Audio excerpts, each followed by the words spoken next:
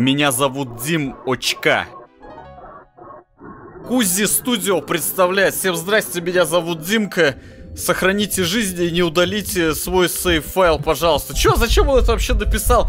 Во-первых, в начале данного видео я хочу поприветствовать вас всех, а во-вторых, я хочу сказать, хватит предлагать мне всякую дичь. Что такое Ралдис Crack я вообще не в курсе.